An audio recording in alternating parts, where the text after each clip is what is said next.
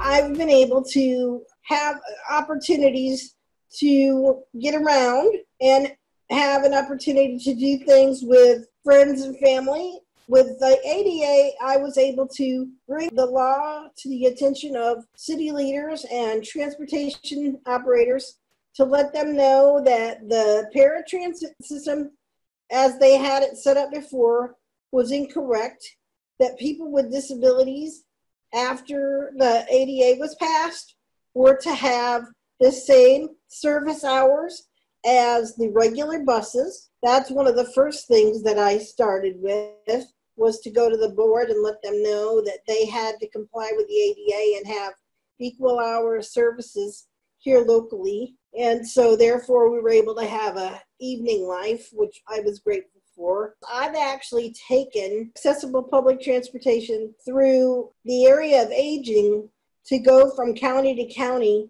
to get from Delaware County all the way to, to LaPorte County, which is about eight counties away, in order to go visit my mom. What I had to do was call the state police at each county and ask them who had a form of county-wide paratransit, and that's why I had to go through the area agencies on aging because usually they're the ones that do county-wide accessible transportation. So I did that, and I'm the only person I know that's done that. I don't know if anybody else around the country has done that, but I know I'm the only one in Indiana that's done that to that distance. Since that time, though, they now have an accessible bus system like a public Miller Trailways that goes from Muncie to Indy, so you don't have to do the county to county. One of the things that I'm the most proud of is that I had been trying to encourage one of the medical accessible transport companies to try to become our uh, local public taxi cab system because we didn't have any accessible cabs. And in 2009,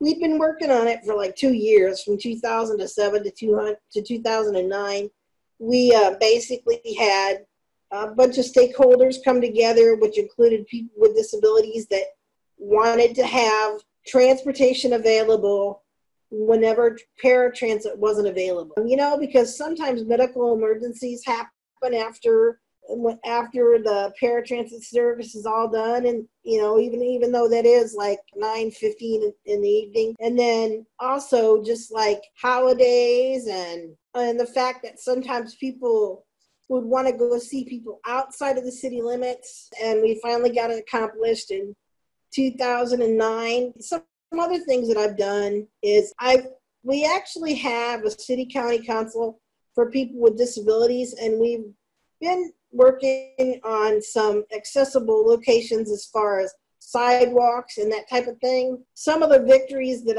I've been I've been able to help some people get out of nursing homes because the the Olmstead law was there and a while back when I helped somebody get out of a nursing home in Indiana, we had what was called transitional waivers. And so the, it wasn't money follows a person, it was something totally different and less complex. It wasn't something separate that you had to qualify for. And what would happen is they would take the money that they spent on somebody in a nursing home and start them out on a transitional waiver at their own home. And I've been able to help two individuals do that, and I was happy about being able to do that. Now, what I basically do is when people call me and ask me, you know, how did they, how can I help them do different things related to the ADA? How can they get help? For things, I either refer them to somebody or I tell them myself how, how they might be able to go through the process.